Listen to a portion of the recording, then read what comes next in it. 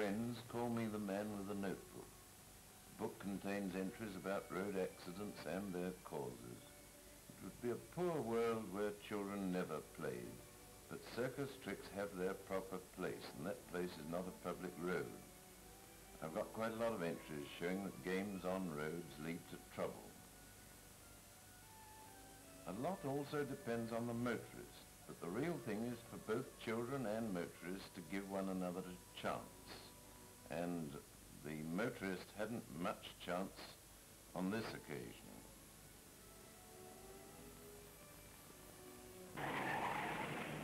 This second shot shows what it looked like from the motorist's point of view.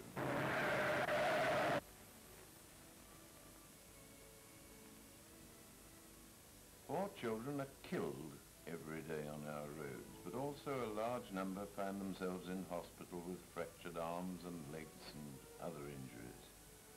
Motorists might remember scenes like this when they next speed along the highway.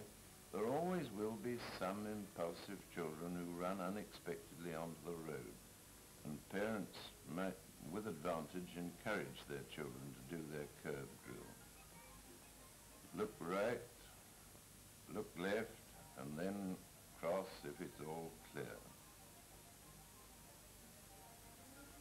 And one does see children really making a royal progress across a road at a Belisha beacon with the traffic all waiting for them. It's not only children. Some grown-up people seem really to try and get run over. I stood in a small Yorkshire town not long ago and saw some apparently sane people step off the pavement without a thought for passing. Grown-ups might do their curb drill as well as children.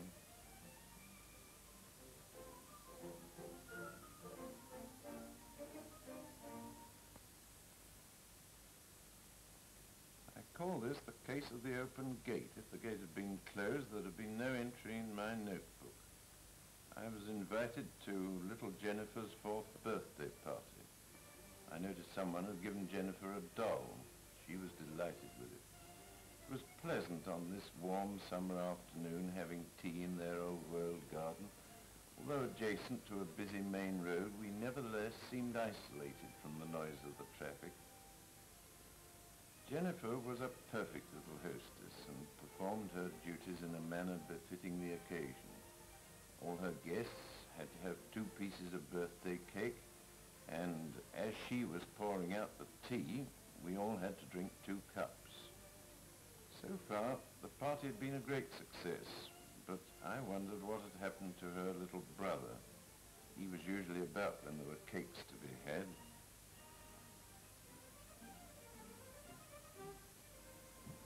He eventually arrived with Dizzy the Bull Terrier to complete the family. I'd have you know that Dizzy is his real name, not that he in any way resembles that great statesman. We were all pleased to see him and were rather amused at his mode of travelling under one small boy pair. Dizzy loves the whole world, with one exception. He hates the feline species.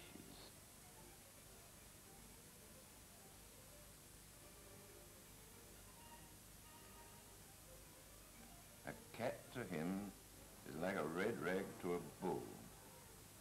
Off goes Dizzy helter-skelter with Jennifer in full pursuit.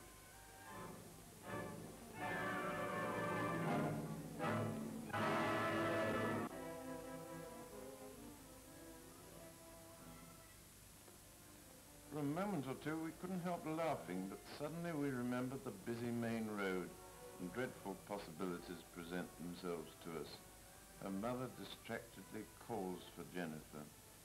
She is not in sight, and not realizing her danger or the anguish of her mother, is hiding on the verge. But on hearing her mother's voice, she shows herself.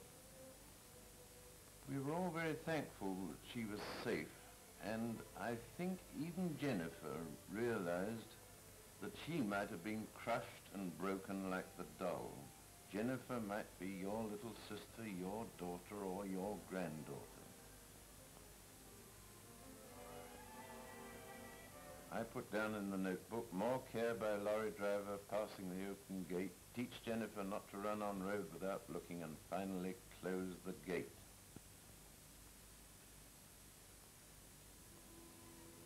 And then there was the case of Richard Shaw. I knew Richard Shaw fairly well. He was a retired tradesman and I used to see him every day go over to the Rose and Crown to meet his friends. I think they almost set their watches by his arrival. He was so punctual.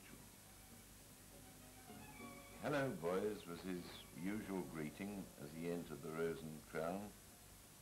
And one glass of beer and the game of dominoes was the regular morning routine.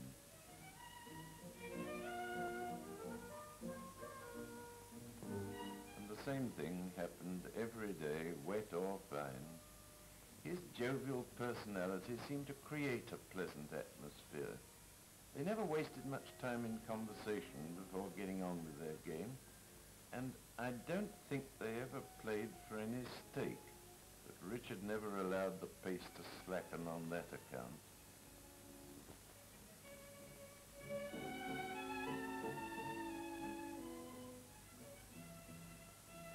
The old gentleman won more often than he lost. It used to please us to watch him and his old cronies vying with one another. The landlord would rest for a moment to watch Richard bluffing and teasing them with his good-natured chaff. We used to watch that wriggly line develop to a climax. I didn't know his friends, but they seemed very decent old fellows, and when Richard beat them, as he often did, they showed no resentment and almost seemed to enjoy it.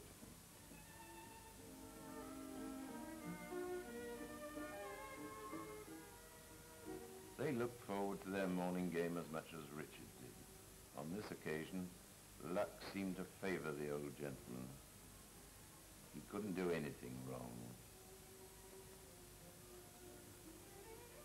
The twinkle in his eye might have warned them that something was going to happen. There was considerable merriment when he won his game with a double six.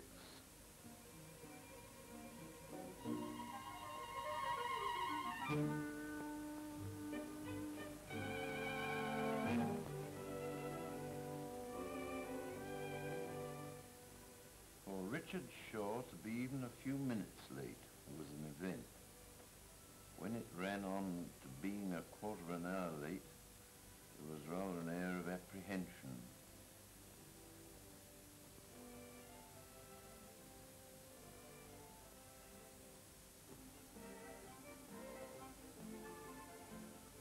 What had happened was that the old gentleman had started off serenely and travelled on the bus he took every morning. He was a polite man and rather made a point of things like giving up his seat to a lady. In fact, he was a delightful old gentleman.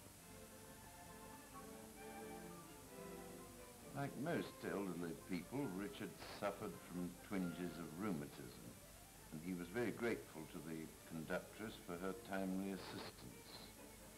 Richard had been brought up in a generation where courtesy and service were taken for granted. His kindly nature endeared him to young and old, and he was extraordinarily popular wherever he went. Is well known to Richard. Today, it's something good for the 230. Richard is definitely interested. He's no intention of putting his shirt on the horse, as Joe suggests. He might risk a bob. Look out!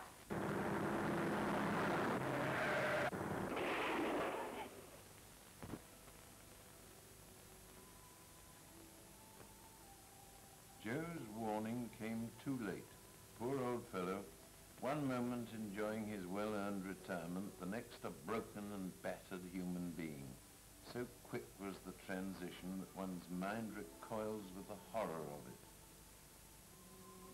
Richard Shaw, the pleasant, likable and sporting old gentleman, is typical of thousands of men in this country. He might be your father or your grandfather, and they all, like Richard, run a risk when crossing the busy roads of today.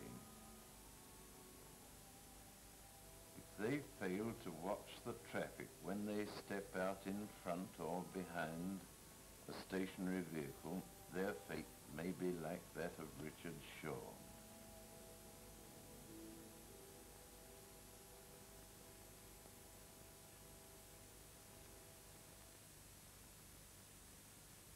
I wandered round this old cemetery recently.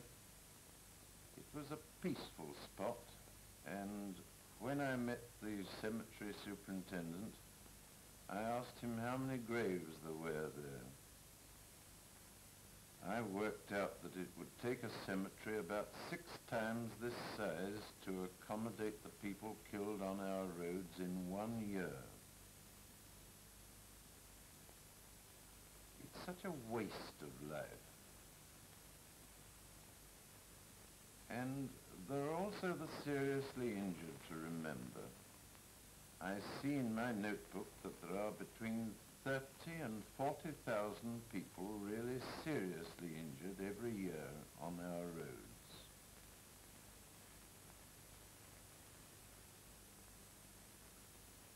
I think there are some things in my notebook worth remembering.